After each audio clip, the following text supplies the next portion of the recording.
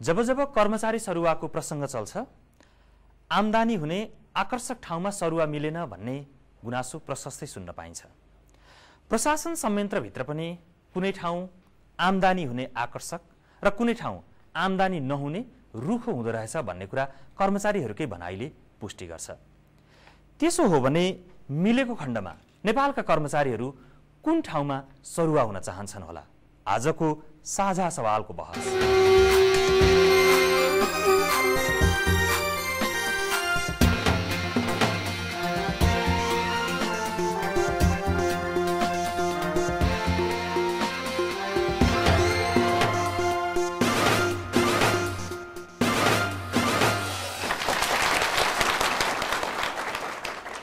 स्वागत छ साझा सवालमा। म नारायण श्रेष्ठ।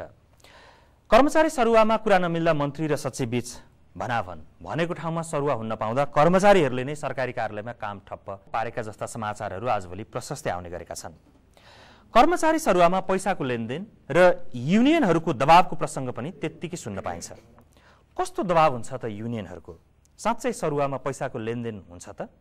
आज हामी साझा सवालमा यो विषयमा छलफल गर्दैछौँ। छलफलमा हामीसँग हुनुहुन्छ पूर्व गृह सचिव उमेश मैनाली कान्तिपुर दैनिकका समाचार सम्पादक हरिबहादुर थापा र पूर्व सामान्य प्रशासन मन्त्री तथा एमाले नेता युवराज कार्की।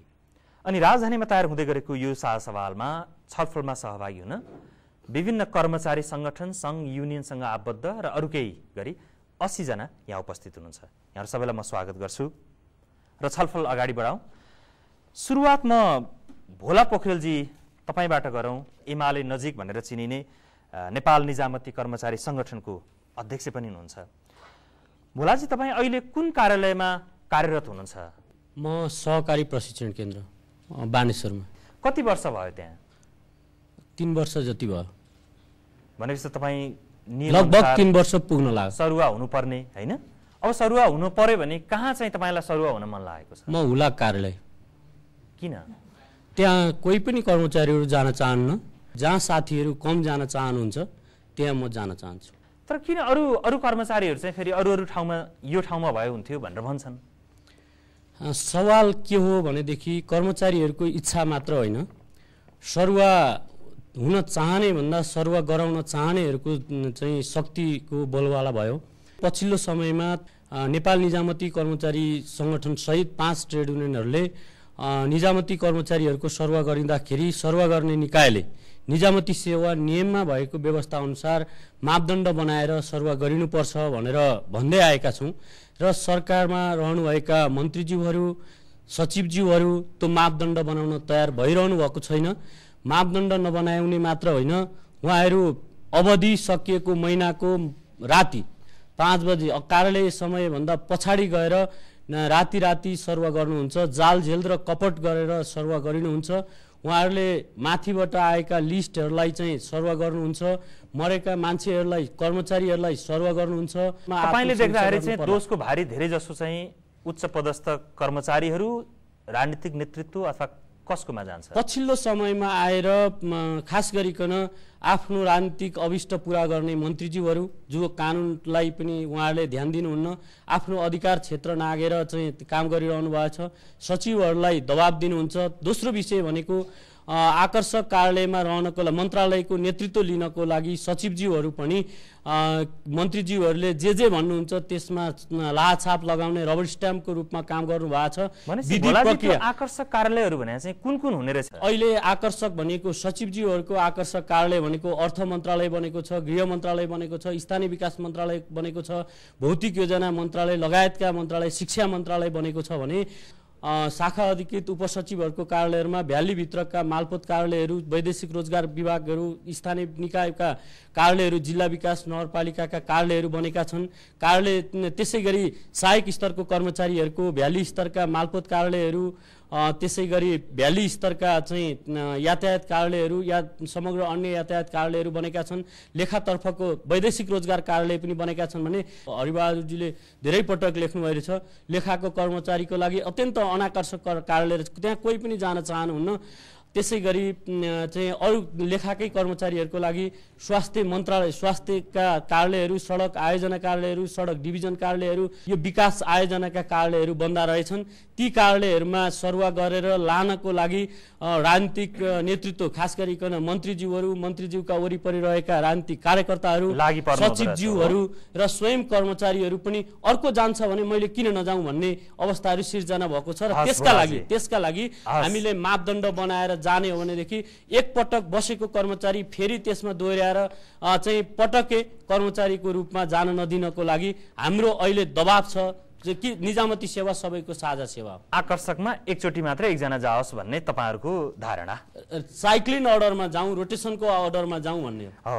हरिबहादुरजी अब भोलाजीले तपाईँको नाम लिनुभयो तपाईँले केही दिन अगाडि पत्रिकामा बैरो र चाकडी चाबहिल कलङ्की दिल्ली बजारको मालपोतलाई चाकडी वैदेशिक रोजगारलाई बैरो भनेर शब्दावली पनि ल्याउनु भयो। अब यो कर्मचारी सरुवा वा सरुवा भएर पदस्थापन अर्को ठाउँमा जाने कुरामा कमाई वा पैसाको लेनदेन पनि प्रशस्तै सुन्न पाइन्छ।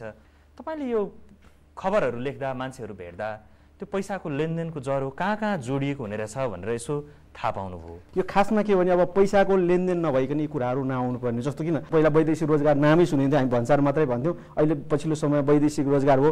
अब मालपोत कार्यालयहरू त विगतदेखि नै आइरहेका हुन्। मालपोतलाई चाहिँ तपाईँको अहिले पनि नयाँ होइन। तर यो तिनवटा ठाउँमा बढी जहाँ कारोबार हुन्छ जहाँ बढी ट्रान्ज्याक्सन हुन्छ त्यो ठाउँमा चाहिँ आफू पुग्नको लागि हो। अब त्यसमा सबै कर्मचारीहरू लागेका छन्। अठहत्तर हजार कर्मचारीमा सबै लाग्छन् भन्ने कुरा पनि भएन।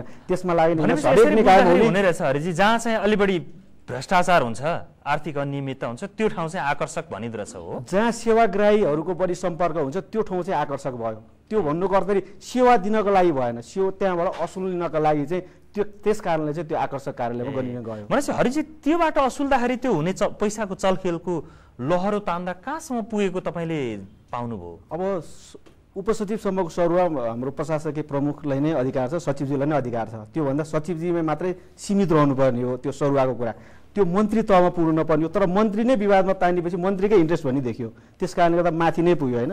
अब त्यसमा मन्त्रीले इन्ट्रेस्ट देखाएपछि गलत काम गरेको प्रधानमन्त्रीले कन्ट्रोल गर्नुपर्ने उहाँले नि कन्ट्रोल नगरेपछि उहाँ पनि पुग्यो त्यो कुरा होइन? त्यसले गर्दाखेरि त्यो संस्थागत भउन गयो। सबैको अब त्यो गरेर उहाँहरूको लेबी उठ असुल्नको लागि आफ्नो कर्मचारीहरूको पनि विभिन्न सङ्गठन ती राजनीतिसँग आबद्ध छन् ती आफ्नो पार्टीसँग आबद्ध संस्थाको चाहिँ लेबी बलियो होस् अथवा कोष बलियो होस् भनेर उहाँहरूले पनि आँखा चिम्लिनु भएको हो कि? नत्र गलत काम आइसकेपछि त रोक्न त प्रधानमन्त्रीबाटै यो कुरो। राजनीतिक नेतृत्वमै ठोकिँदो रहेछ। युवराज कार्की तपाईँ सामान्य प्रशासन मन्त्री हुनुभयो। तपाईँ मन्त्री हुँदा पनि त्यस्तै भएको थियो हो। र मैले चाहिँ के भने अधिकांश ट्रेड युनियनका नेताहरूसँग बसेर सकेसम्म कम विवाद होस् भन्ने उद्देश्य राखेर काम गरेँ। स्वाभाविक रूपले त्यो मुख्य जिम्मेवारी चाहिँ राजनीतिक नेतृत्वकै हुन्छ। सचिवले गर्नुपर्ने सरुवामा पनि ट्रेड युनियनसँग सरसम्बन्ध भएर अनि फेरि मन्त्री किन जोडिन्छ त्यहाँ? सबैले आफ्नो आफ्नो दायरामा बसेर काम गर्ने हो भने त्यो जोडिनु जरुरी छैन। वास्तवमा आफ्ना आफ्ना कामका दायराहरू छन्। मन्त्री भनेको नीति निर्माणसँग सम्बन्धित हुनुपर्ने। त्यसपछि सचिवले त्यसलाई कार्यान्वयन गर्नुपर्ने। अब ट्रेड युनियनहरूले पनि अब आवश्यक आफ्ना मागहरू राखेर जानुपर्ने। सबैका आफ्ना आफ्ना दायराभित्र बसेर काम गर्ने हो भने विवाद आउँदैन। त्यो दायरा नागेर मन्त्री पनि अब इन्भल्भ हुन थाल्यो भनेदेखि त स्वाभाविक रूपले विवाद आउँछ। तपाईँलाई जस्तो एउटा सोध्न मन लागेको नि सरुवा बडुवामा ट्रेड युनियनहरूको हात हुनुपर्ने हो कि होइन?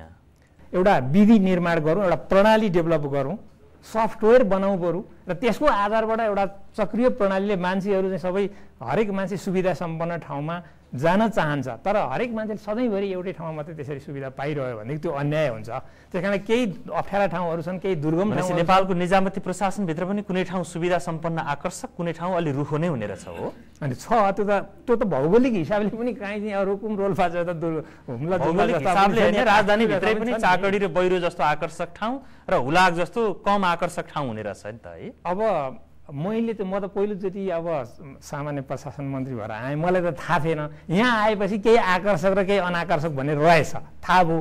अब यसले के सङ्केत गर्छ भने ती कार्यालयहरूभित्रको काम गर्ने शैलीमा पनि एउटा ठुलो सुधार गर्नुपर्ने आवश्यकता तपाईँ मन्त्री हुँदाखेरि चाहिँ कहाँ कहाँ सरुवा हुन चाहे धेरै जसो कर्मचारीले वा दबाब आउँदाखेरि कहाँ कहाँबाट? जो आइसक्यो आइ नै सक्यो भनिसक्नु भएको छ त्यो वैदेशिक रोजगार विभाग त्यो चाहिँ भन्सार मालपोत यी त स्वाभाविक देखिएकै हुन् नि सबैले सार्वजनिक रूपले जानकारी पाएकै क्षेत्रहरू हुन्। भनेपछि उमेश मैनाली तपाईँ निजामती सेवामा गृह सचिवसम्म बन्नुभयो।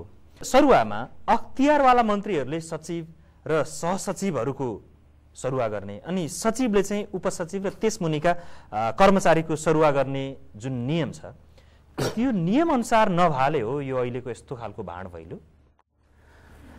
यसमा हेर्नुहोस् दुई तिनवटै फ्याक्टर छ एउटा मात्रै नभनौँ। यो पहिलो त मन्त्रीज्यूहरू जुन नीति निर्माता नीति निर्माण गर्ने हो नीति उत्पादन गर्नुहुन्छ उहाँहरूको अत्याधिक रुचि सरुवामा भएको सत्य हो। यो हाम्रो पनि अनुभव छ केही हदसम्म दोस्रो केही अवसरवादी हाम्रै कर्मचारी साथीहरूमा पनि कर्मचारी नै भन्नु पऱ्यो म पनि पेन्सन लिन्छु अहिले पनि म निजामती कर्मचारीको वास्तविक प्रवृत्ति मलाई थाहा छ। त्यो एउटा समूह अवसरवादी समूह मन्त्रीज्यूहरूलाई प्रभावमा पा पारेर जहिले पनि अघि नै भनिएकै शब्दहरू जस्तो आकर्षक कार्यालयहरू यिनै गुनेका कार्यालयहरूमा जान चाहन्छ र सफल हुन चाहन्छ त्यो पोलिटिकल प्रेसरबाट। त्यसैले भनेपछि तपाईँले भनेअनुसार त ट्रेड युनियनका नेताहरूको सिधै सम्बन्धित राजनीतिक दलका नेतासँग मन्त्रीसँग सम्बन्ध हुने भयो। त्यो बिचमा बसेर काम गर्न सचिवहरूलाई गाह्रो छ हो। होइन यसो छ। व्यक्तिगत रूपमा भन्ने हो भने अहिलेकै केही घटनाक्रमहरूले चाहिँ अत्याधिक रूपमा उहाँहरूको पनि सरुवामा सक्रियता देखिएको छ।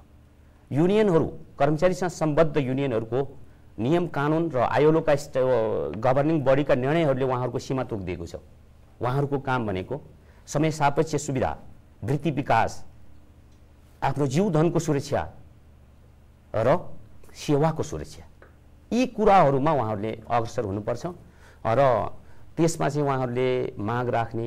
अग्रसर त अहिले त्यसमै छ कि अरूमै देख्नु? होइन मैले त्यही दुःखपूर्वक भन्नुपर्छ त्यो चाहिँ अलिकति बढी चाहिँ फेरि सरुवातिर जान लाग्यो कि सरुवा हेर्नुहोस् सरुवाको कुरो कस्तो हुन्छ भने यो पुर नितान्त व्यवस्थापकीय काम हो। एउटा मन्त्रीप्रति एकाउन्टेबल सचिव हुन्छ भने तर उसको सबै हात बाँधिदियो भने ऊ एकाउन्टेबल हुन सक्दैन। विदाउट अथोरिटी अधिकार बिनाको उत्तरदायित्व हुन सक्दैन। त्यसैले मन्त्रीज्यूप्रति एकाउन्टेबल हुने हो भने उहाँलाई व्यवस्थापकीय काम गर्न चाहिँ छोड दिनु पऱ्यो तपाईँको आफ्नै कार्यकालको अवधिमा मन्त्रीहरूबाट चाहिँ कतिको दबाव आउँथ्यो नि? त्यो थोरै मात्रै। मेरो एउटा अग्रज भन्नुहुन्थ्यो सरुवामा आकार कसरी सरुवा हुन्छ कसरी अन्याय हुन्छ? एउटा डाँफे सरुवा एउटा गैडा सरुवा। उहाँले भन्नुहुन्थ्यो मेरो एउटा के हो। त्यो भनेको चाहिँ? एउटा दुर्गमबाट दुर्गमै। त्यो भनेको डाँफे? डाँफे।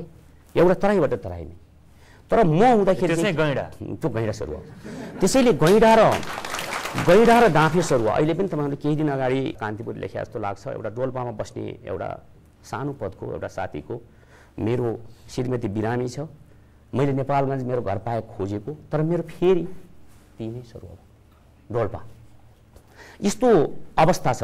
भनेपछि अब चाहिँ म एकैछिन सहभागीहरूकोमा आउँछु नेपाली काङ्ग्रेसको निकट निजामती कर्मचारी युनियनका वरिष्ठ उपाध्यक्ष रुद्र खनालजी। रुद्रजी तपाईँबाट जानु म यो सरुवामा जुन खालको मुद्दाहरू अहिले उठ्या छ भाँड भैलो नै पनि भन्छन् कतिले खास कसको दोष बढी हो? अब दोष धेर थोर हाम्रो पनि छ भने हामीले पनि त जिम्मेवारी लिनुपर्छ एउटा पाटो हो। तर जहाँसम्म अहिलेसम्मको कुराकानी आएको छ यहाँ पुरा मन्त्रीजीले पनि भन्नुभयो राजनीतिक नेतृत्वको कारणले यो अवस्थाहरू सिर्जना भएकै हुन्। किनभने सचिव भागभण्डामा परेपछि त्यो सचिवले त्यही भागभण्डाको पार्टीको मात्रै काम गरेपछि बाध्य भएर बाहिर परेका अन्याय अप्ठ्यारा परेका कर्मचारीहरूले कोही न कोही साथीहरूलाई गुहार्ने अवस्था सिर्जना हुन्छ। अहिले अवस्था यस्तो छ चार वर्षदेखि सरुवा सामान्य नेपालका सचिवहरू हेर्दाखेरि चिनिन्छ यो काङ्ग्रेस निकट यो माओवादी निकट यो एमाले निकट सचिव भनेर हो अथवा यो मधेसी दल निकट भनेर? होइन बाध्य पारेर उहाँहरूलाई चिनाइएको छ। किनभने लाइनमा बसेको मान्छे ऊ सचिव हुन सक्दैन। लाइनमा बसेको मान्छे ऊ मुख्य सचिव हुन सक्दैन सचिव भनेपछि उसले कोही न कोहीको ढोकामा बाध्य भएर ऊ पुग्नुपर्ने अवस्था सिर्जना राजनीतिक पार्टीले गराएको छ।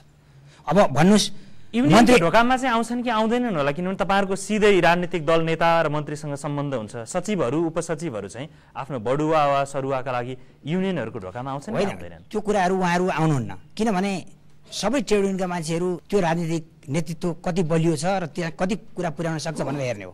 तपाईँहरूले देखिराख्नु भएको छ मन्त्रीजीहरू वार्षिक बजेट कार्यक्रम बनाउँदै यति पर्सेन्ट मलाई नदिएसम्म वार्षिक कार्यक्रम स्वीकृत हुँदैन भनेर भन्नुहुन्छ। अनि त्यस पछाडि अहिले यो आकर्षक अनाकर्षक कार्यालयका कुरा पनि यो यात्राको शुभारम्भ मुलुकका राजनीतिक पार्टीहरूबाट गरे अझ राम्रो हुन्छ। मुलुकका विशिष्ट श्रेणीको सचिवबाट गरे अझ राम्रो हुन्छ। मुलुकको गृह सचिव विशिष्ट श्रेणीको क्षेत्रीय प्रशासक जान तयार हुनुहुन्छ त? गृहमन्त्री सामान्य प्रसारण मन्त्री हुन तयार हुनुहुन्छ त? सेवा सुविधा गाड भत्ता त सायद उति होला। अब हाम्रो मुलुकको प्रशासन कस्तो छ भनेपछि चार वर्षदेखि सरुवा अवरुद्ध भयो। तर सरुवा गर्ने बित्तिकै फेरि सचिवको गएर टेबुलै फोडिदिने अनि जसले। कुनै जमातले फोर्यो होला व्यक्ति विशेषले कसैले फोर्यो होला त्यो सिङ्गो सबै संस्थालाई त्यो एउटै डालोमा हालेर हेर्न मिल्दैन हेर्नुहोस्। कुनै युनियनकै कर्मचारी साथीहरूले पनि त्यो गरेको छ रुद्रजी तपाईँसँग कुरा गर्दा पनि एउटै डालोमा हाल्न मिल्दैन भन्ने भोलाजीसँग कुरा गर्दा पनि एउटै डालोमा हाल्न मिल्दैन अरू कसैले गर्यो होला भन्ने अर्को युनियन वा सङ्गठनसँग भन्दा पनि त्यसै भन्ने। आखिर फोडिएको त छ टेबुल। के हो यो? त्यो फोरिएको छ त कुन जमातले कसले फोर्यो त्यो सत्य तथ्य पत्ता लगाउनु पर्यो नि त। भनेपछि रुद्रजी यो सरुवामा पैसाको लेनदेन चाहिँ हुन्छ कि हुँदैन? होइन हामीलाई अहिलेसम्म त्यो जानकारी छैन। यदि कसैको त्यस्तो किसिमको प्रमाणित गर्न सक्नुहुन्छ भने तपाईँले मन्त्रीले पनि वार्षिक बजेट नै पारित गर्दाखेरि पनि पैसा यति दिएदेखि पारित गर्छु नत्र गर्दिनँ भन्ने कुरो सुनाउनु भएको? मिडियामा आयो मिडिया मार्फत हामीले जान्ने कुरा हो। मिडियामा काम गर्ने। तपाईँहरू त्यही भएर तपाईँलाई थाहा छ कि। मन्त्रालयको त भनिदिन्छु मैले मन्त्रालयको तपाईँहरूलाई यहाँ यहाँ भनेर निर्लज नपार्नुहोस्। अब मिडियामा थाहा छ तपाईँहरूलाई पनि थाहा छ हामीलाई पनि थाहा छ। अब राति बाह्र बसेको मात्रै हो। माघ महिनामा हुनुपर्ने सरुवा माघ महिना एक गतेदेखि तिस गतेसम्म गर्दै गरे के हुन्थ्यो? कोही साथीहरूको अप्ठ्यारो असजिलो परे कमी कमजोरी आए सच्याउन मिल्थ्यो होला नि। तर वर्षको एकचोटि एक दिन। बेलुका पाँच बजेपछि राति बाह्र बजीसम्म गरेको सरुवाले कस्तो नतिजा ल्याउँछ? हस् रुद्रजी। यहाँ यतापट्टि एकीकृत माओवादी नेकपा माओवादी निकट राष्ट्रिय कर्मचारी सङ्गठन निजामतीका अध्यक्ष एमनाथ पोखरेलजी हुनुहुन्छ। तपाईँले देख्दा चाहिँ दोष कसको बढी देख्नुहुन्छ? यो कर्मचारी सरुवामा जुन प्रसङ्ग उठिरहेको छ। मूलत यसको चाहिँ तिनवटा पक्ष छन्। एउटा राजनीतिक नेतृत्व अर्को प्रशासनिक नेतृत्व र केही हदसम्म ट्रेड युनियनहरू। ट्रेड युनियनहरू पनि यसबाट चाहिँ त्यस्तो किसिमको केही छ भने यसबाट बाहिर जान तर तपाईँहरूकै मन्त्री हो तपाईँहरूको नाभि त फेरि मन्त्रीसँग जोडिएको छ। कसरी दोष चाहिँ मन्त्री अनि त्यसपछि उच्च पदस्थ कर्मचारी अनि मात्रै ट्रेड युनियनमा आएको? सरुवालाई एउटा नियमित प्रक्रिया बनाउनु पर्ने यसलाई भारी भरकमको हिसाबले चाहिँ नलिनुपर्ने थियो। त्यो दुख दुःख साथ गर्नुपर्छ यो लिएको छ विगत करिब तिन वर्षदेखि चाहिँ कुनै पनि कर्मचारीहरूको सरुवा भएको छैन। एउटा नियमित प्रक्रिया एउटा कर्मचारीहरू चाहिँ जुन एउटा चाहिँ एउटा चाहिँ गति दिनलाई पनि एउटा ऊर्जा प्रदान गर्नलाई पनि सेवाग्राहीलाई चाहिँ सामान्य प्रशासन मन्त्रीले सरुवा गर्दा तपाईँहरू नै गएर मन्त्रीलाई मन्त्रालय नै आउन नसक्ने बनाइदिनु भयो नि त होइन र? यसो खास गरेर चाहिँ हामीले हामीले भन्दा पनि सरुवालाई एउटा हामीले मापदण्ड बनाएर व्यवस्थित बनाएर चाहिँ लाग्नुपर्छ भन्ने हिसाबले पहिले तिनवटा ठुला पार्टीका कर्मचारी युनियनसँग आबद्ध नेताहरूसँग कुरा गरेँ तिनैजनाले के भन्नुभयो भने मापदण्ड बनाउनुपर्छ नियमअनुसार हुनुपर्छ। नियम त छ त्यहाँ कर्मचारी प्रशासन ऐन पनि छ। मापदण्ड होला मा बिना मापदण्ड यतिकै त गर्दैन। कसले रोक्छ त्यो तपाईँहरूले भनेको मापदण्ड बनाउनलाई? अब मैले वास्तवमा चाहिँ हामीले भन्नुपर्छ देश चाहिँ संहितामा गएको अहिले करिब चार वर्ष भइसक्यो। र हाम्रो निजामती प्रशासन सार्वजनिक प्रशासन अहिले पनि ऊ एकात्मक र केन्द्रीकृत चाहिँ उही पुरानो संस्कार पुरानो हिसाबले चलिरहेको छ। र जुन पुरानो हाम्रो संस्कार ट्रेडिसन जुन हिसाबले चाहिँ नियमित प्रक्रिया एउटा पुरानो संस्कारलाई पनि नीतिगत हिसाबले बनाएर चाहिँ जुन जाने प्रवृत्ति छ नि त्यो हाई भएको कारणले गर्दाखेरि पनि एउटा पाटो त्यो पनि हो। त्यसो सरुवा बडुवामा कर्मचारी सङ्गठनहरू तपाईँहरू सङ्गठनहरूको भूमिका चाहिँ के खोज्नु भयो तपाईँहरूले चाहिँ? त्यो ऐन र नियममा भएका विषयवस्तुहरूलाई चाहिँ त्यसलाई चाहिँ राखौँ र ऐन नियम र त्यसमा केही प्रश्न नभएका चिजहरूलाई चाहिँ मापदण्ड बनाऊ। त्यो अनुसार सराह गरौँ। त्यसमा कुनै पनि ट्रेड युनियनले केही बोल्दैन। जस्तो यहाँहरूलाई मैले उदाहरण दिउँ जस्तो अहिले मात्रै सिँचाइ मन्त्रालयमा जुन सरह भयो सचिवजीले जुन एउटा स्ट्यान्ड लिएर सबै मापदण्ड बनाएर चाहिँ जुन गर्नुभयो र त्यसलाई चाहिँ आफूलाई परेको प्रेसर चाहिँ ट्रेड युनियनलाई चाहिँ उहाँले चाहिँ ट्रेड युनियनलाई चाहिँ राख्नुभयो। त्यसमा हामीले सहयोग गऱ्यौँ र कुनै पनि ट्रेड युनियनले सिँचाइ मन्त्रालयको विवाद आएन। भनेपछि यहाँ अगाडि मधेस कर्मचारी मञ्चका विनोद कुमार सिंहजी हुनुहुन्छ। तपाईँबाट नि जानु। तपाईँको पनि धारणा त्यस्तै हो कि एउटा मापदण्ड बनाउनु पर्ने कर्मचारी सरुवा बडुवामा त्यो बनाउन नसकिएकोले यो अप्ठ्यारो भएको भन्ने कि धन्यवाद। हाम्रो मञ्चको धारणा के छ भने नेपालको ब्युरोक्रेसी खतम भइसकेको छ। यहाँ तपाईँको तपाईँ सचिव- हुनुहुन्छ? होइन होइन हामी पनि छौँ। अब सचिवसम्म जानलाई पार्टीको भागभन्डाबाट जानुहुन्छ। अघिका साथीले पनि भन्नुभयो सचिव बन्नलाई क्राइटेरिया सबै पार्टी पार्टीबाट जाने। उहाँ माथि गएर मन्त्री अगर अर्को पार्टीको छ भने उहाँले त्यो सहयोग गर्नुहुन्न। सहसचिवले सचिव बन्नको लागि सचिवले जे जे भन्नुहुन्छ त्यही गर्नु पर्यो। चाहे त्यो सचिव भ्रष्ट भए पनि ऊ पनि भ्रष्ट हुनु पर्यो। नभए उसको नम्बर काटिन्छ र ऊ जिन्दगीमा सचिव हुँदैन। यस्तो ब्युरोक्रेसी जबसम्म रहन्छ तपाईँको सरुवा एउटा ऐन विपरीत सरुवा सचिवहरूले गर्दा तपाईँको ट्रेड युनियनहरू बाध्य भएर त्यो ठाउँमा गएको। मापदण्ड बनेको ठाउँमा पनि मापदण्ड लागू गरिएन। जस्तै महालेखा नियन्त्रक कार्यालयले छवटै ट्रेड युनियनको अध्यक्षलाई राखेर सही गराएर मापदण्ड बनाएको छ। तर त्यसको जस्ट विपरीत उहाँहरूले सरुवा गर्नु। र त्यो जुन तोडफोड भयो त्यसैको परिणाम हो। नियम कानुन सचिवले मान्दैन मन्त्रीले मान्दैन ट्रेड युनियनले मात्रै मान्नुपर्छ भन्ने हुँदैन। त्यसका लागि तोडफोडै गरिदिनु। होइन जे पनि गर्छ। हस् विनोदजी। हरिबहादुरजी तपाईँहरूले पत्रिकामा लेख्दा त धेरै जसो दोष कर्मचारी युनियन वा ट्रेड युनियनहरू छन् यसमा दोषी भन्ने त्यो आशय देखिन्थ्यो। अब यहाँ कुरा गर्दा त दोष त्यहाँ होइन उच्च पदस्थ सचिव वा कर्मचारी र त्योभन्दा माथिको नेतृत्व तहको व्यक्तिहरू मन्त्रीहरू हुन् भन्ने कुरा उहाँहरूले गर्नुभयो। होइन हामीले यो तिनै तहको दोषी देखाएको छौँ। अब एउटा ठाउँमा न्युजमा कुनै बेला आउँदा एउटा प्रसङ्ग आयो होला कहिलेकाहीँ युनियनको मात्रै आयो होला कहिलेकाहीँ राजनीतिक नेतृत्वको मात्रै आयो होला। जस्तो सिँचाइको कुरा गर्दा पनि हाम्रो मन्त्रीले नै दोषी देखाएको थियो होइन? त्यसपछि अरू जुन तोडफोड भयो तोडफोड त अब गएर सचिवले गर्नुभएको छैन युनियनकै कर्मचारीहरूले गर्दाखेरि हामीले युनियन भन्नु पऱ्यो होइन? त्यसमा अरू व्यक्ति गएको भएन हामीले अरू व्यक्ति भन्ने होइन? त्यसमा चाहिँ के छ भने अब बढी कर्मचारी तन्त्र राजनीतिकरण भयो। राजनीतिकरण भएको कारणले गर्दाखेरि चौसठी सालमा एक सय एक नम्बरको सचिव नम्बर त्रि उनासत्तरी नम्बरको बन्या। त्यसले गर्दाखेरि अब त्यो राजनीतिक पार्टीसँग निकट नभएको कारणले गर्दा कार्य सम्पादनमा एक नम्बरमा आएको व्यक्ति पनि सहसचिव पनि सचिव बन्न पाउँदैन होइन जो पार्टीको निकट पुग्छ त्यसले गर्दाखेरि त्यो सचिव बन्ने आकाङ्क्षाका कारणले गर्दा धेरै पार्टीप्रति वफादार भए जनताप्रति भन्दा बढी। सचिव भएकाहरू राजनीतिक दलको पछि लागेर भएका धेरै छन् हो। एकदम बाध्यात्मक स्थिति आयो भने एउटा कुरा जस्तो कुनै व्यक्तिको लागि चाहिँ त्यो एकदम कार्य सम्पादनमा राम्रो छ उसलाई गरेन भने एकदम अप्ठ्यारो पर्छ भने त्यति त्यो बेला एउटा कुरा हुन्छ होइन? नत्र भने राजनीतिक पार्टीसँग निकटदेखि नै पर्छ। अनि अर्को चाहिँ जस्तो अब अहिले मन्त्रालयमा हामी सुन्छौँ सचिव र सहसचिवहरूले हामीले युनियनका पदाधिकारीहरूको चाकरी गरेन भने हाम्रो कुरा मन्त्री कहाँ पुग्दैन अथवा राजनीतिक नेतृत्वमा पुग्दैन। त्यस कारणले गर्दा हामी युनियनलाई पनि युनियनका तल्लो तहका कर्मचारी भयो भने हामी उहाँलाई चाहिँ अब उहाँले नमस्ते गर्ने हामी नमस्ते गर्छौँ। यो स्थिति चाहिँ अहिले आएको छ।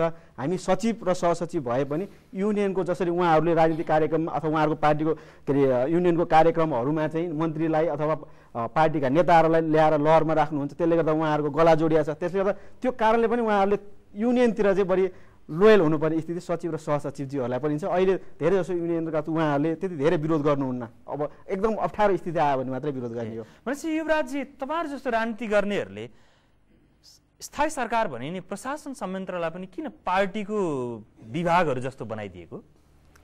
यसको ज्वरो खोज्नको निम्ति हामीले नाइन्टीको डेमोक्रेसी नेपालमा आएदेखि खोज्नुपर्छ हेर्नुहोस्। कहाँबाट सुरु गरियो हामीले कहाँबाट कसरी छिर्दै छिर्दै आयो। बढी राजनीतिकरण भएकै छ।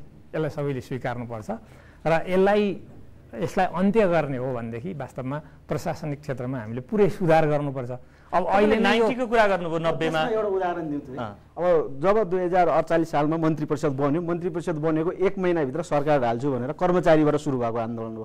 कोइरालाको सरकार? एउटा सरकार नयाँ राजनीतिक परिस्थिति फेरिएपछिको सरकार जब भन्यो त्यो सरकारलाई अब भनौँ न पुरै राजनीतिक नयाँ रिजिमै चेन्ज भएर आउँदाखेरि त्यो सरकारलाई बुझ्नलाई एक वर्ष लाग्छ कम्तीमा पनि। सबै शासन संयन्त्र बुझ्नलाई। मन्त्रालयभित्र प्रवेश गरेका छैन अब त्यसपछि तपाईँको कर्मचारीको घेराउमा पर्यो। जब आन्दोलन हुन्छ आन्दोलनमा चाहिँ के देखिन्छ भने कर्मचारी हामीले आन्दोलनमा साथ दिएको छौँ त्यसको चाहिँ हामीले पनि त्यसको प्रतिफल पाउनुपर्छ भने सबैभन्दा पहिला कर्मचारी आउँछन्। जब जनताहरू जति सडकमा उत्रिएका छन् नि त्यो लोकतन्त्रपछि पनि त्यही देख्यो। लोकतन्त्रपछिको चौबिस घ जुन आयो त्यो त्यसैको प्रतिफल हो। अडचालिस सालमा एक महिनापछि नै सरकार फाल्नको लागि कर्मचारीले लिड गरे र तिस त्रिसठी पछि पनि तपाईँ कर्मचारी तन्त्र बढी नै अराजकता चाहिँ त्यहाँबाट सुरु भयो। बरु बिचमा अलिकति म्यानेज भइसकेको थियो कर्मचारीहरूले बुझिसकेका थिए तर फेरि अब त्यो प्रतिफल लोक यो लोकतन्त्रको प्रतिफल पाउँछ पाइन्छ कि भन्ने उसमा चाहिँ उहाँले पाउनुभयो भने बाह्र हजार कर्मचारीले स्वतः बढाउनु भयो त्यस क्रममा। एकैछिन फेरि म युवराज कार्की तपाईँकै धारणा जानु। किन तपाईँहरू त्यस्तो बनाउनु भयो स्थायी स्थायी सरकार भनेर ठुलो जिम्मेवारी राजनीतिक क्षेत्रकै हुन्छ हेर्नुहोस्। र के हुन्छ भने वास्तवमा त्यतिखेर कर्मचारीहरूलाई ल तपाईँहरूको सबै कुराको हामी जिम्मेवारी लिन्छौँ आन्दोलनमा उत्रिनुहोस् भनेर त त्यतिखेरको लोकतन्त्रको लागि लड्ने राजनीतिक नेताहरूले नै उनीहरूलाई लगाए। त्यसपछि त्यो उनीहरू आफ्नो जागिर दाफुमा लगाएर आन्दोलनमा लागे स्वाभाविक रूपले उनीहरूले केही खोज्नु केही त्यसको रिवार्ड गर्ने कुरा त्यो अन्यथा थिएन। त्यो त्यो बेठिक हुन्थ्यो भने नि सम्झाएर कि त राजनीतिक नेतृत्वले त्यतिखेर दृढता साथ अडेर यो यसो गर्दाखेरि यसले भोलि विकृति ल्याउँछ यसरी नजाउँ भनेर कि त सम्झाउन सक्नु पर्थ्यो। उहाँहरूले चाहिँ त्यो त्यो आन्दोलनमा खेलेको भूमिकाको लागि केही त्यसको रिवार्ड खोज्ने कुरा आउँछ भने त्यो त्यति अन्यथा हुने थिएन। त त्यतिखेरै वास्तवमा यो लोकतान्त्रिक बढुवा जसलाई भनिएको छ चौबिस घ एक भनिएको छ यसले भोलि समस्या आउन सक्छ भनेर कि त त्यतिखेरको प्रशासनिक नेतृत्व पनि राजनीतिक नेतृत्व पनि त्यसमा अडेर सम्झाउन सक्नु पर्थ्यो कर्मचारीहरूलाई त्यो नगरेर उहाँहरूले त्यो गर्नु चौबिस घ भने के हो खासमा? चौबिस घ एक भनेको चाहिँ कर्मचारीले जुन यो अहिले बैसठी त्रिसठीको जनआन्दोलनमा उहाँले जुन भूमिका खेल्नुभयो त्यो भूमिका खेले बापतमा एक त स्वतः बढुवा कुनै त्यसमा कुनै नियम प्रक्रिया तपाईँहरूलाई आन्दोलनमा सघाइदिए बापत कर्मचारीहरूलाई? यहाँ अगाडि महिला सहभागीले उठाउनु भयो म तपाईँको लिन्छु के हो? मेरो नाम इन्दिरा रिजाल। म नेपाल निजामती कर्मचारी सङ्गठनको उपाध्यक्ष। जसरी उहाँले भन्नुभयो दुई हजार बैसठी त्रिसठीको जनआन्दोलनपछि कर्मचारीहरूलाई चाहिँ एउटा चाहिँ अवार्डको रूपमा दिइएको भन्नुभएको छ। त्यो कुनै पनि हालतमा होइन। बैसठी त्रिसठीको जनआन्दोलनपछि चौसठीमा जुन ऐन परिवर्तन भयो ऐन परिवर्तन हुँदा त्यो ऐनको दफा चौबिसको घ एक भनेर चाहिँ त्यसमा चाहिँ ल्याइएको बढुवा चाहिँ उसले सम्पूर्ण आफ्नो शैक्षिक योग्यता आफ्नो चाहिँ के अरे कार्यक्षमता अनि उसले चाहिँ भौगोलिक ऊ चाहिँ सबै पार गरेर आफ्नो दक्षता सबै पार गरेर चाहिँ ल्याइएको बढुवा हो त्यो। म त्यहाँ त्यो पछाडि अर्को मापदण्ड एकजना सहभागी छ अनुसार- म उहाँको पनि लिन्छु है। नमस्ते म कृष्ण पाण्डे। म सिँचाइ मन्त्रालय अन्तर्गतको कर्मचारी इन्जिनियर पनि हुँ। यो चौबिस घको विषय। त्यसमा शैक्षिक योग्यताको कुनै ठाउँमा उल्लेख गरिएको छैन। तर भर्खरै भन्दै हुनुहुन्छ त्यसमा शैक्षिक योग्यता अरू कुराहरू पनि उल्लेख गरिन्छ। त्यसको आधारमा गरिएको भन्नुहुन्छ त्यो हुँदै होइन। अहिले भर्खरै पनि हामीसँगै धेरै इन्जिनियर विशेष इन्जिनियर भनेर साथीहरू काम गर्दै हुनुहुन्छ। त्यो साथीहरूसँग त्यो शैक्षिक योग्यता छैन। उहाँहरूलाई इन्जिनियर भनिन्छ तर उहाँहरू ओभरसियर मात्रै हुनुहुन्छ। तर अहिले भर्खर जनआन्दोलनमा दललाई सघाएको पुरस्कार आधारमा त्यो कुराहरू आइराखेको छ। र उहाँहरूसँग त्यो योग्यता नभए तापनि उहाँहरूलाई त्यो इन्जिनियर भनिएको छ। र यस पछाडि जोडिएको अर्को अत्यन्तै नमिठो कुरा के छ भने उहाँहरू चौसठी माघ एकबाट त्यो पदमा पुग्नुभयो। त्यसपछि लोकसेवा आयोगले धेरै इन्जिनियरहरूलाई लिइसकेको छ। उहाँहरू अहिलेसम्म काम गर्दाखेरि डाइरेक्ट फाइट गरेर गएको इन्जिनियरहरूको अन्डरमा काम गरिराख्नु भएको छ। तर भोलि यो समायोजनको कुरा जुन उठिरहेको छ अत्यन्तै चर्को रूपमा भोलि यदि यो समायोजन भयो भने आज चार वर्षसम्म जसले त्यो डाइरेक्ट फाइट गरेर गएको इन्जिनियरको अन्डरमा काम गरेको छ त्यो मान्छे भोलिको मितिबाट फेरि उसको अन्डरमा काम गर्नुपर्ने। अत्यन्तै नमिठो यो परिणाम आउँदैछ। यो अति नमिठो कुरा हो। यसरी चाहिँ राजनीतिकै बेनिफिटको निमित्त आफूले सधैँ राजनीति गर्नको निमित्त त्यसका लागि चाहिँ पोजिटिभ कुराहरू भोलिको स्वार्थको निमित्त मात्रै यो कुरालाई बोलियो भने भोलि त्यहाँ काम गर्ने इन्भाइरोमेन्ट हुने छैन। यसको निमित्त यो ट्रेड युनियनको नेताहरूसँग चाहिँ मेरो यो अनुरोध के हो भने यसलाई अत्यन्तै राम्रोसँग सोधि सोचियोस्। र अर्को मन्त्रीज्यूसँग यो राजनीतिक नेतृत्वसँग पनि मेरो गुनासो के छ भने म चाहिँ एउटा योजनामा छु। त्यो योजनामा करिब दुई तिन लाखदेखि दस पन्ध्र लाखसम्मको प्रत्येक योजनाहरू बनेका थिए यो आर्थिक वर्षमा।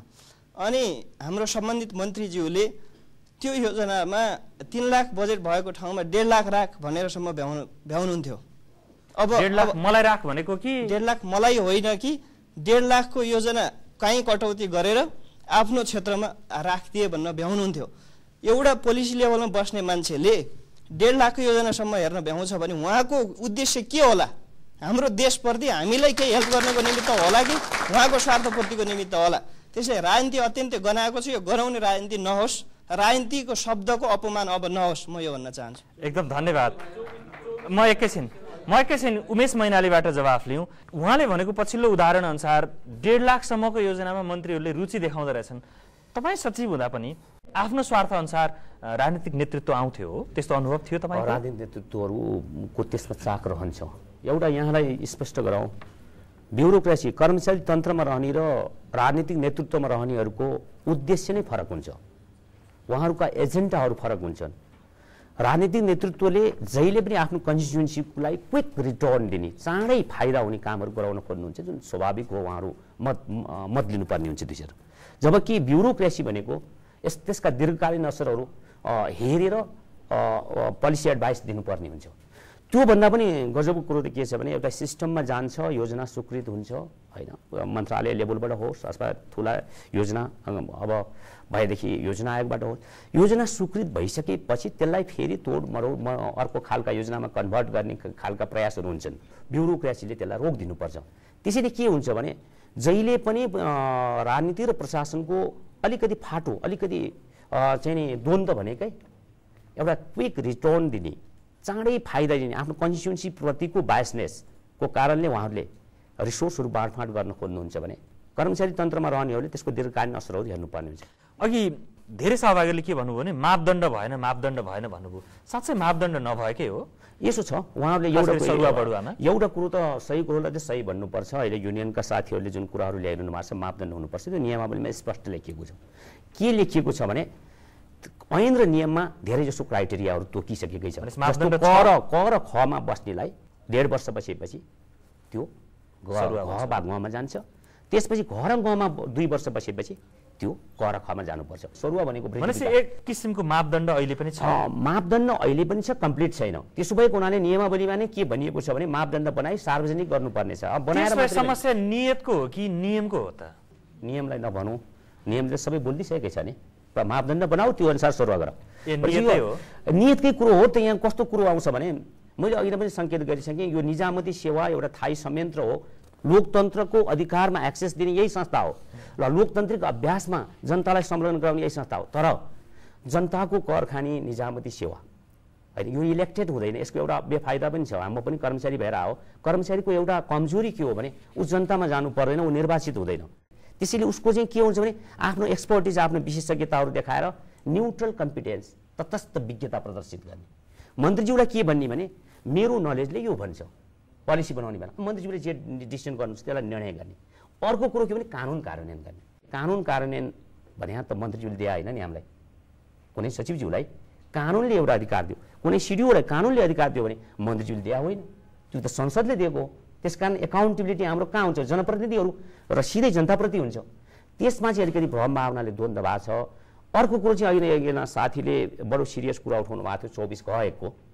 ट्रेड युनियनका साथीहरूले पनि सोधिदिनु पर्ने कुरो छ भने केही सेवाहरू यस्तो हुन्छ जहाँ एकाडेमिक क्वालिफिकेसन जरुरी हुन्छ। जस्तो डक्टरमा इन्जिनियरमा र होइन सिरियस कुरा उठाउनु भयो। उहाँले के कुरो उठाउनु भयो भने ओभरसियर एउटा सर्टेन टाइम बााउन्ड प्रमोसनमा इन्जिनियर हुन्छ। होइन? भनेपछि त्यसको त्यो एकाडेमिक क्वालिफिकेसन रहँदैन जसले गर्दा त्यो कम्प्लिकेटेड डिजाइनहरूमा उसको नलेजै हुँदैन। डक्टर भनौँ न एउटा विशेषज्ञ नभए उसले त्यो काम नै गर्न पाउँदैन। उसलाई प्रमोसन दिएर के गर्ने? दोस्रो कुरो के हो भने अर्को नमजाहा कुरो चाहिँ के भइदियो भने प्रमोसन त दिइयो तर साबिकको काम गर भन्ने र मैले बुझेको प्रमोसन म प्रशा- प्रशासनको विद्यार्थी भएको कारणले मैले भन्नै पर्ने हुन्छ प्रमोसन भनेको तलब बन्नु होइन। प्रमोसन भनेको जिम्मेवारी बन्नु। त्यसो भएको हुनाले कि प्रमोसनै नेपाल सरकारले गर्नु हुँदैन गरिसकेपछि उहाँहरूलाई मास्टर जिम्मेवारी दिनुपर्छ।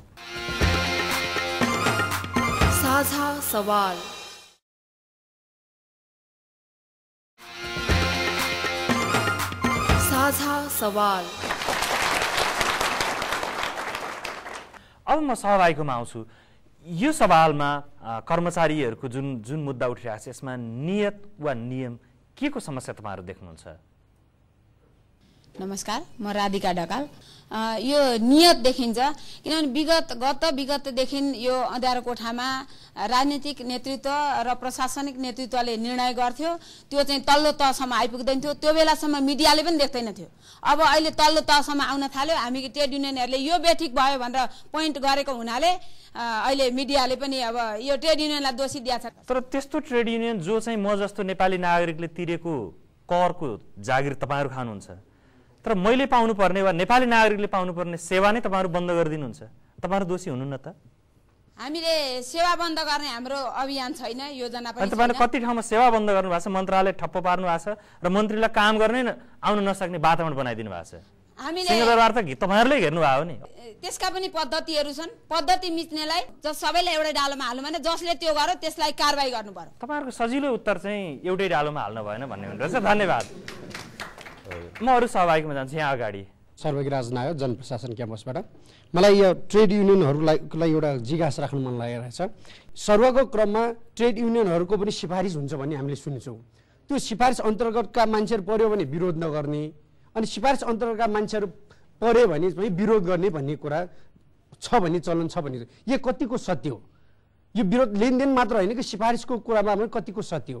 त्यो म उहाँहरूसँग जिज्ञासा राख्न चाहन्छु। धन्यवाद। नमस्कार म रमेश प्रसाद जोशी म विश्वविद्यालय प्रधानवादी कर्मचारी सङ्घ नेपालको महासचिव हो। म वास्तवमा यो एउटा क्वेसन यहाँ हाम्रो सचिवज्यू र पूर्व मन्त्रीज्यूलाई सोध्न चाहन्छु होइन।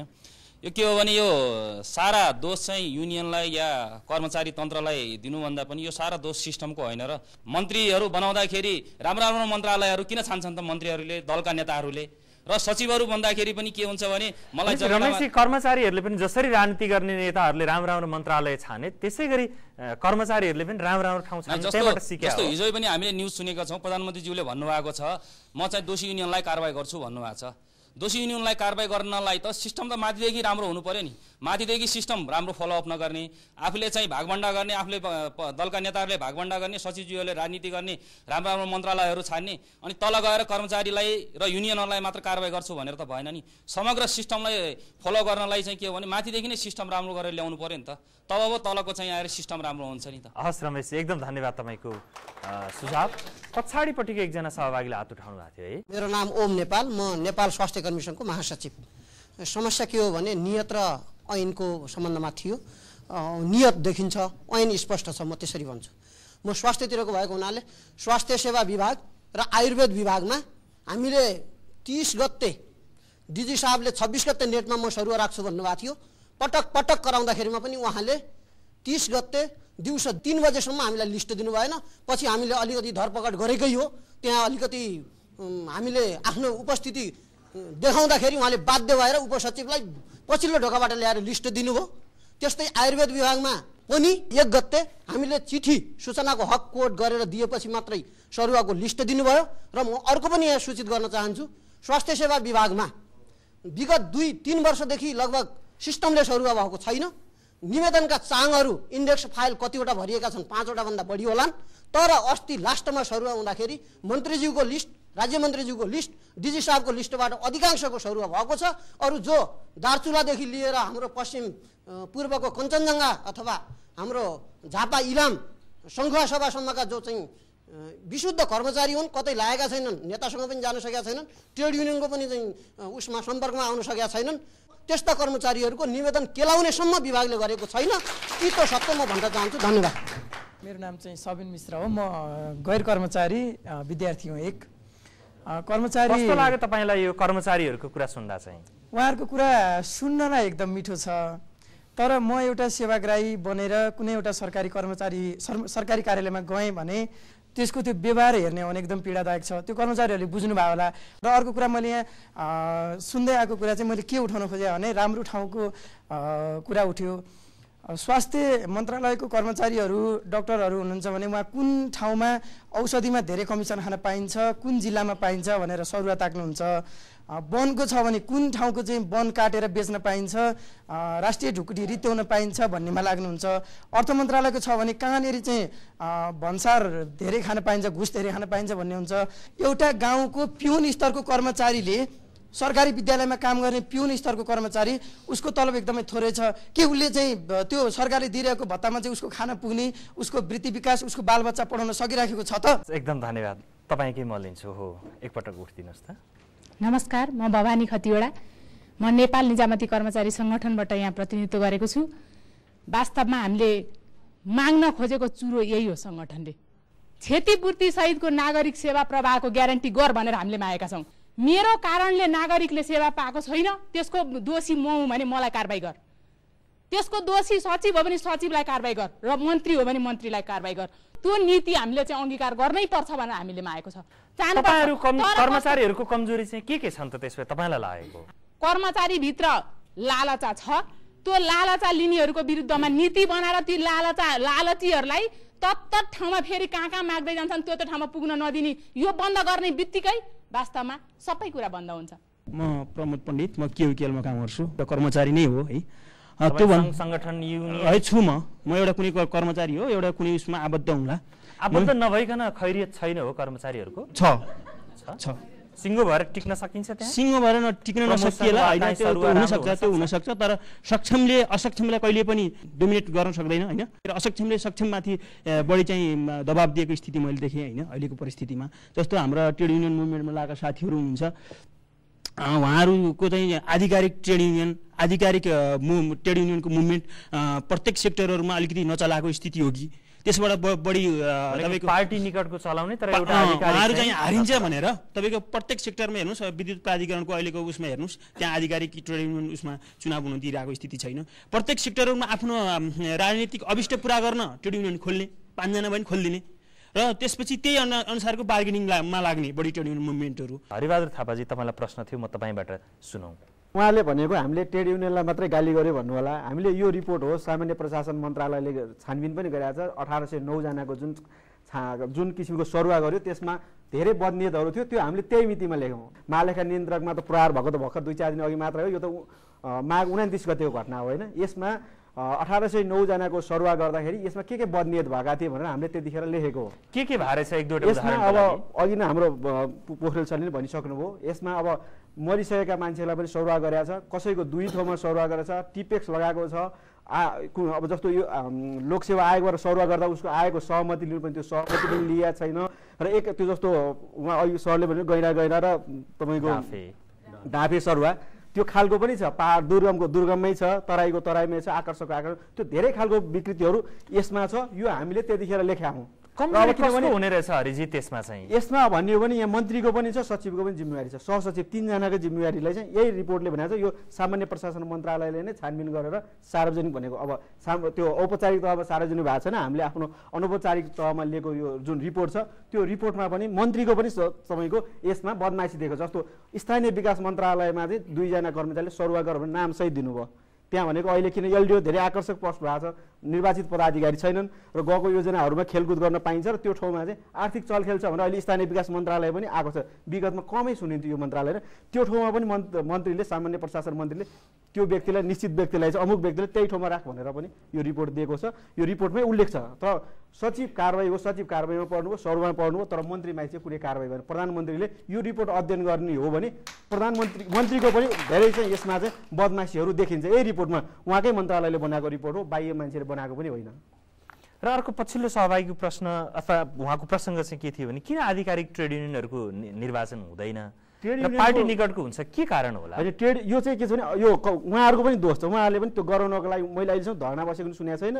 उहाँले गर्नुपर्छ भने छैन। एक वर्ष अघि यही वर्षको चैतसम्म गर्नुपर्छ भन्ने थियो। अख्तियार दुरुपयोग अनुसन्धान आयोगले यो धेरै अराजकता देखेपछि गएको फागुन एक गते चाहिँ चाहिँ निर्देशनै दिएको छ श्रम मन्त्रालयले। तत्काल गराउनु पर्यो। र कर्मचारीहरूको पनि इन्ट्रेस्ट दिएको छ। किनभने आधिकारिक भएपछि एउटा मात्रै हुन्छ उसले मात्रै बार्गेनिङ गर्छ होइन? त्यो बार्गेनिङ एउटाले मात्रै गर्ने भएर अरूले किन त्यो ठाउँ छोडिदिए त्यो भएर कर्मचारीहरू पनि सबैको चाहिँ यसमा त्यो गर्नुपर्छ भनेर उहाँहरूबाट आवाज उठेको। सामूहिक आवाज मैले मैले पनि प्रेस रिलिज चाहिँ सामूहिक रूपमा देखाएको छैन है। अब उहाँले कोही मेरो किन तपाईँहरू त्यसको लागि। दबाब दिन सक्नुहुन्न? एउटा आधिकारिक ट्रेड युनियन होस् भन्नका लागि। विगतका दुईटा आर्थिक बजेटहरूमा पनि आधिकारिक ट्रेड युनियनको निर्वाचनको लागि बजेट छुट्याइएको छ। र हामीले अघिल्लो वर्षदेखि नै अझ छैसठीको चैत्र अठार गते ट्रेड युनियनहरूसँग नेपाल सरकारका प्रतिनिधिहरूसँग सहमति भयो। आउने मङ्सिरसम्ममा आधिकारिक युनियनको चुनाव गराउने भन्ने कुरा भएको थियो। श्रम मन्त्रालयले त्यसलाई खासै अगाडि बढाउन सकेन र यो सरकारको नियत पनि हो र ब्युरोक्रेसीको नियत पनि हुन हुन सक्छ तपाईँहरूको माग चाहिँ होइन। हाम्रो हो। हाम्रो त आधिकारिक युनियनको निर्वाचन छिटोभन्दा छिटो गर्नुपर्छ भनेर हामी छ अहिले छवटा ट्रेड युनियन छौँ। छवटै ट्रेड युनियनले संयुक्त रूपमै गएर श्रम विभागलाई हामीले भनेका छौँ र श्रम विभागले छलफल गरिराखेको छ र पछिल्लो अवधिमा अस्ति त्यो छलफललाई अगाडि बढाइराख्नु भएको डिजी नै सरुवा गरिदिनु भएछ। यो नियति नै भन्नुहोस् माघ महिनामा कर्मचारीको सरुवा हुन्छ कहिले मन्त्रीको सरुवा हुन्छ? हेर्नुहोस् रविन्द्र श्रेष्ठको सरुवा भएको थियो। तपाईँ त्यसपछि आएर त्यही माघ महिनामा सचिवकै सरुवा हुन्छ। पुसमा मङ्सिरमा सचिवको सरुवा गरे पनि हुन्थ्यो। होइन? ट्रेड युनियनको विषयमा छलफल गर्दैछ डिजीकै सरुवा हुन्छ के? यो खालको नियति भनेपछि उमेश मैनाली म तपाईँ पूर्व सचिव गृह सचिव। अ, कुरा त्यतिखेरदेखि चलिरहेको थियो भने तपाईँहरू ट्रेड युनियन एउटा आधिकारिक ट्रेड युनियन होस् भनेर तपाईँहरूको पनि त्यति रुचि हुन्न हो? होइन पक्कै हुन्छु। जब म व्यवस्थापनमा रहने सचिवज्यूहरूलाई धेरै सहज पनि हुन्थ्यो। एउटा आधिकारिक ट्रेड युनियनसँग सामाजिक संवाद र राजनीतिक सौदाबाजीको कुरोहरू अलिकति के पनि छ भनेदेखि आधिकारिक ट्रेड युनियन भएपछि शक्तिशाली हुन्छ। अहिले तपाईँको के छ भने हामीले एउटा युनियनसँग चाहिँ नि कुरा मिलाउँछौँ अर्कोले आएर टेबल फोडिदिन्छ। अर्कोसँग मिलाउँछौँ अर्कोले आएर कठालो समात्छ। त्यस कारण चाहिँ के भने सचिव लेभलमा रहने सचिवज्यू मन्त्रीज्यूहरूलाई पनि सामाजिक संवाद र सामाजिक सौदाबाजी गर्न आधिकारिक ट्रेड युनियन भएको राम्रो तर अघि नै कुरो आयो त्यो चाहिँ होइन म स्पष्ट गराउन चाहन्छु। कुरो के हो भने यो नियमावली बन्दाखेरि यस्तो किसिमले बनाइएको छ कि त्यो समानुपातिक प्रतिनिधित्व छ। त्यस कारणले गर्दा उहाँहरूको आधिकारिक ट्रेड युनियन बने पनि सबै अहिले देखिएका सङ्गठनहरूको त्यहाँ प्रतिनिधित्व हुन्छ। पहिलो मतले पनि अध्यक्ष हुन्छ होइन? दोस्रो मतले पनि महासचिव हुन्छ तेस्रो मतले पनि उपाध्यक्ष हुन्छ। यस्तो छ। त्यसैले यो कुरो हामी सचिव लेभलमा रहँदा सचिव तहमा रहँदा हाम्रो अनिच्छा होइन कि हाम्रो चाहिँ स चाँडोभन्दा चाँडो होस् नै भन्ने थियो। एउटा। आधिकारिक ट्रेड युनियन भए पनि राजनीतिक दल अनुसारको एक एकवटा युनियन वा हाँगा। हुने नै भयो। त्यो नहुने गरी कुनै पनि राजनीतिक गन्ध नआउने गरी कर्मचारीको विशुद्ध हितका लागि मात्रै हुने गरी ट्रेड युनियन बनाउने कानुन चाहिँ बन्न मिल्दैन। त्यसका लागि चाहिँ कसको दबाब आउँछ होला? होइन यसो छ। अहिले पनि कहाँ राजनीतिक भनिएको छ अहिले पनि राजनीतिक भनिएको छैन। पेसागत हकितको लागि उहाँहरूको सङ्गठन दर्ता भएको छ। यो बेग्लै कि बाहिरबाट हामीले अब एसेसमेन्ट गर्दाखेरि के देखियो भने उहाँहरूको कोर्सिन कसैको नजिक देखिनु। त्यति मात्रै हो। त्यसैले के भने मल्टी युनियन सिस्टममा के हामी जानु भएन। मल्टी युनियन सिस्टममा गइसकेपछि यी युनियनहरू बन्छन्। त्यो युनियनहरू मध्येबाट आधिकारिक छानिने हो। निजामती सेवा जो नागरिक प्रशासन हो यो जनताको कर खाने जनतासँग सबभन्दा नजिक बसेर जनतालाई सरकारको अनुमति दिने संस्था हो। यो संस्था भत्ताभङ्ग हुन लागेको छ। किनभने मन्त्रीज्यूहरू के गर्न खोज्नुहुन्छ भने उहाँहरू विशुद्ध प्रशासनिक काम एउटा ऊ हुन्छ क्या राजनीतिज्ञहरूले के गर्ने दिग्दर्शन गर्ने स्टेरिङको काम गर्ने। अनि डुङ्गा ख्याउने शासन रूपी प्रशासन रूपी डुङ्गा ख्याउने काम चाहिँ त कर्मचारीहरूको हो भन्छ। स्टेरिङ र रोइङको कुरो गर्छौँ हामी। तर उहाँहरू चाहिँ रोइङ गर्न डुङ्गा ख्याउने उहाँहरूलाई बढी इन्ट्रेस्ट दा जाग्न लाग्यो। उहाँहरूको गल्ती त्यो हो। अनि अर्को कुरो के हो भने युनियनका साथीहरूले पनि आफ्नो सीमा चाहिँ छोडिएको कुरो रियलाइज गरिदिनु पर्यो। त्यसका सीमाहरू छन् जस्तो कर्मचारीहरूलाई अन्याय भयो भने गुनासा संयन्त्रहरू छन् जहाँ उहाँहरूको पनि प्रतिनिधित्व हुन्छ त्यहाँ लैजान सकिन्छ। र यदि साँच्चै नै अन्याय गर्यो व्यवस्थापनले भने त्यसका नि प्रक्रियाहरू छन् प्रक्रिया पुर्याएर उहाँहरूले हडतालसम्म गर्न सक्नुहुन्छ कठालो समात्ने टेबल फोड्ने त प्रक्रिया त्यो चाहिँ किन त्यो त जनताको कर खाइसकेपछि जनतालाई सेवा कसरी पुर्याउने कसरी चाहिँ यसलाई प्रभावकारी बनाउने? जनताको अहिले जुन विश्वासको खाडल छ त्यसलाई कसरी चाहिँ उ गर्ने? अब बढी चाहिँ जनविश्वास आर्जन गर्ने भन्नेतिर पनि उहाँहरूको प्रेसर हुनु पर्यो यमनाथ पोखरेलजी माओवादी निकटको कर्मचारी सङ्गठनको अध्यक्ष हुनुहुन्छ। एउटै कर्मचारी सङ्गठन जो चाहिँ कुनै पनि राजनीतिक दल भन्दा पनि कर्मचारीको हितका लागि मात्रै त्यस्तो कल्पना गर्न सकिन्छ?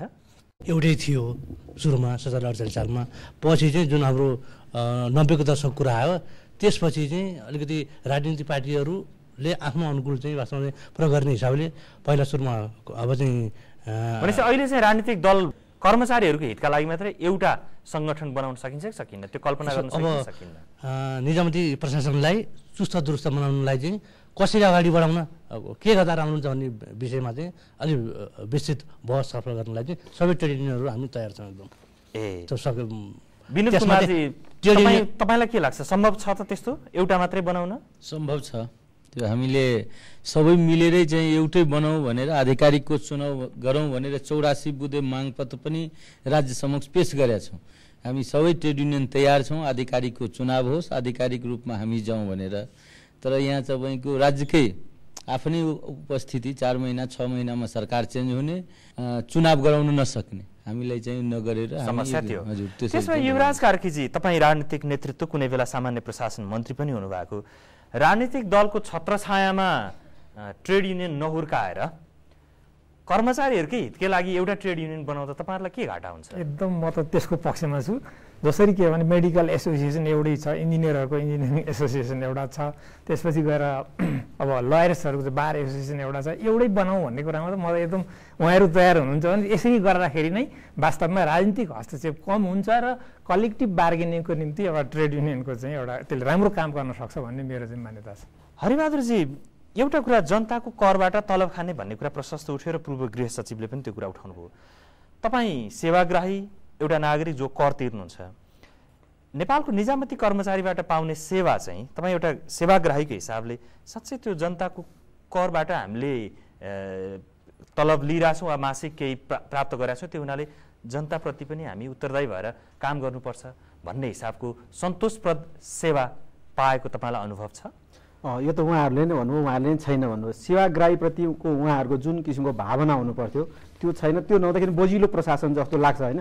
गएपछि सहयोग तवरमा कानुनले हुन्छ भने हुन्छ हुँदैन भने यो दफा हुँदैन भनेर सेवाग्राहीलाई सन्तुष्ट बनाएर पठाउने पद्धति अझै स्थापित भएको छैन। ऊबाट कसरी अलिकति अप्ठ्यारो पारेर असुल्न सकिन्छ भन्ने मात्रै धेरै जसो कर्मचारीहरूको यहाँ आउनु भएको नपर्नु होला तर धेरै कर्मचारीहरूको हामीले मानसिकता त्यो पाएको छौँ। सायद त्यही भएर होला कतिपय ठाउँ आकर्षक र अनाकर्षक तपाईँको मालपोत कार्यालयमा गएर फाइल कागज हेरिदिनुहोस् न भन्यो भने तपाईँले पैसा दिनु भने उसले फाइलै पल्टाउँदैन। पैसा दियो भने यति छिटो हुन्छ अनि त्यो भएर तपाईँको उहाँहरूले चाहिँ सेवाग्राहीलाई पैसा नतिरिकन काम हुँदैन।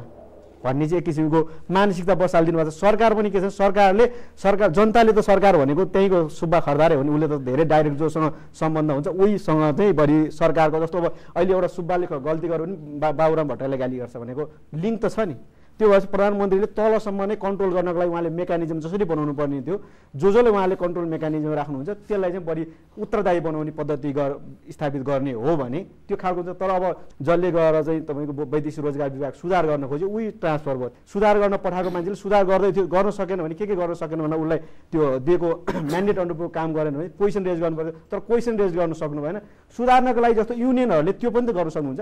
जसले राम्रो काम गरेछ त्यो कर्मचारीलाई पुरस्कृत गर्ने उहाँले पनि नीति बसाल्न सक्नुहुन्छ। त्यो त्यो भयो भने एक किसिमको माहौल त बन्छ नि। माहौलै बन्न नसकेको। अहिले के भने अलिकति जसले कमाउँछ उसलाई बढी लेबी बुझाएको कारणले झन् उहाँहरू नै त्यो ठाउँमा पठाइदिने काम गरिदिनुहुन्छ। किनभने अलिक राम्रो लेबी बुझाइदिन्छ होइन। लेबीका लागि पनि त्यो कमाउ अड्डामा आफ्ना आफ्ना कार्यकर्ता आफ्ना मतदाता अझ भोटर त्यहाँभित्र नि भोटर ब्याङ्क सुरक्षित गर्ने खेलमा उहाँहरू पनि लाग्नु भएको छ।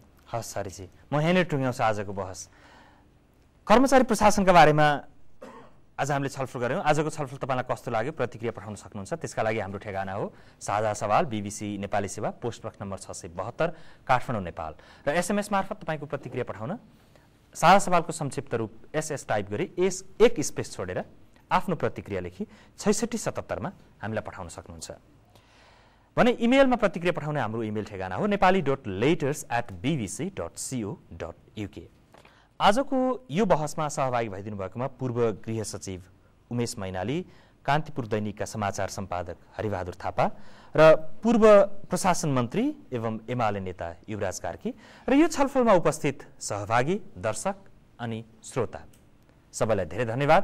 कार्यक्रमबाट आजका लागि हामी सबैलाई बिदा दिनुहोस्। नमस्कार।